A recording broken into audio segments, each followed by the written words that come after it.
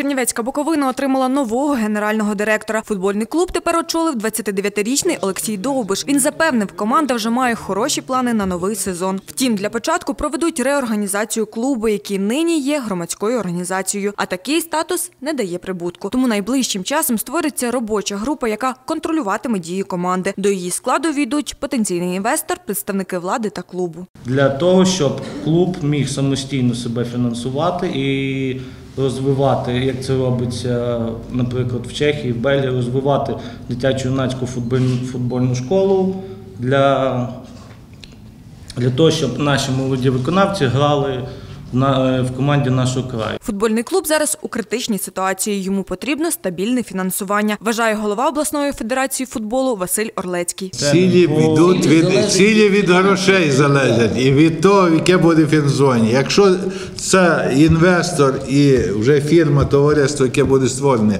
будуть нормально заробляти гроші, тоді будемо говорити і про завдання команди. Окрім того, новий гендиректор Буковини пообіцяв до початку сезону, 26 липня, погасити клубу і поступово виплатити зарплати гравцям, які півроку грали задарма.